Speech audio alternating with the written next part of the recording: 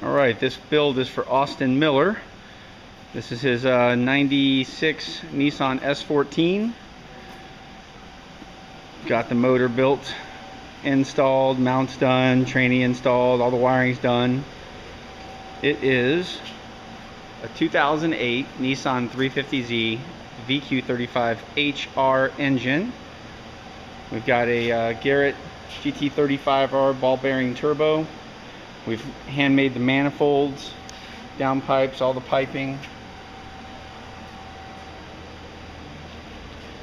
It's got a 38 mil wastegate,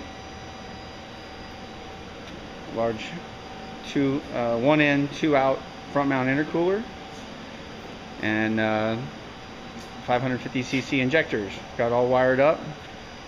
Uh, let's go ahead and start it.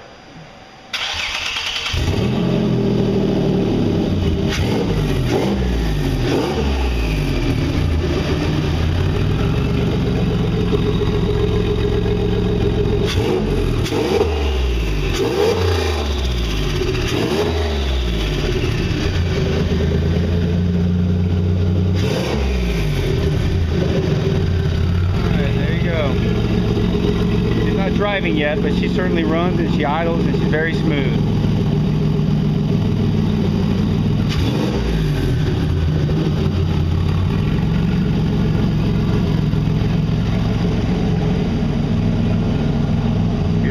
Up. You have that hand trigger done?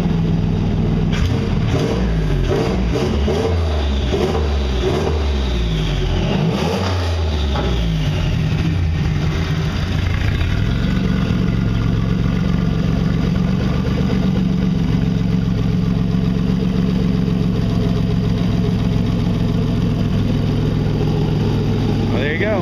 Enjoy it, Austin.